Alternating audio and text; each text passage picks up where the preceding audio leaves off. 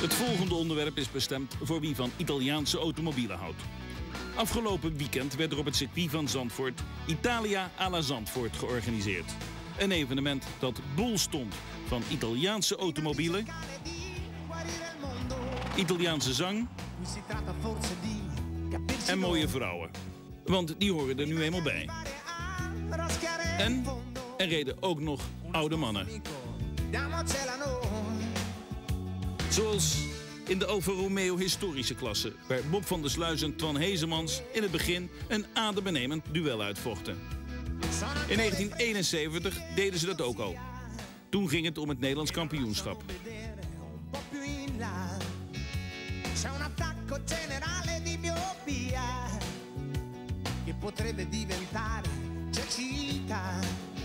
De Fiat Cinquecento's gaven een demonstratie. En dat waren rallyauto's van nu. Rallyauto's van vroeger waren er ook. Zij reden mee in een concours d'élégance.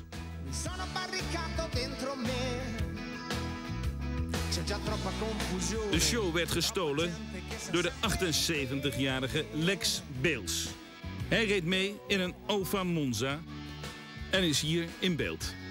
In 1934 reed hij in zo'n wagen aan de 2000 kilometer lange rit Baden-Baden, Berlijn en terug.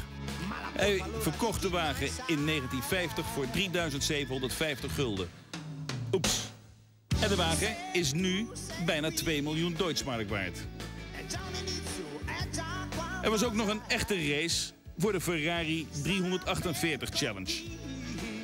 Die zou uiteindelijk gewonnen worden door de Fransman Guy Teny. Voor Bochet en de Nederlander Hugo Hols.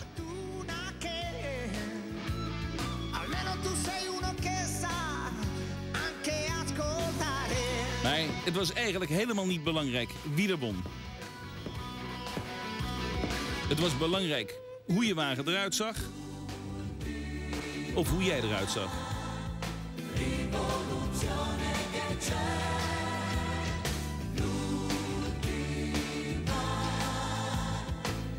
Alla Zandvoort trok 22.000 bezoekers.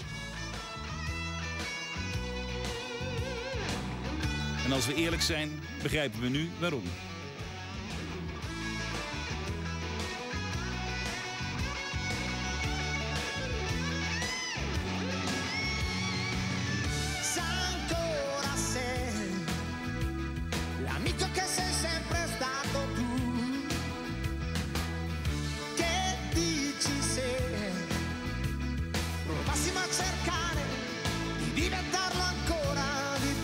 Winnen was niet echt belangrijk. Er zijn en meedoen. Dat wel. Di più.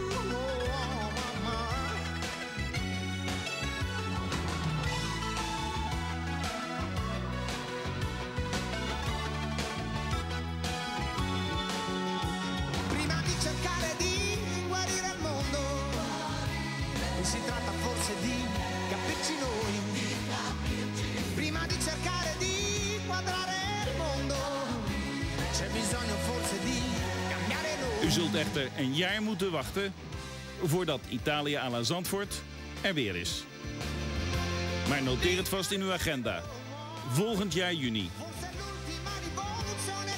Italia à la Zandvoort.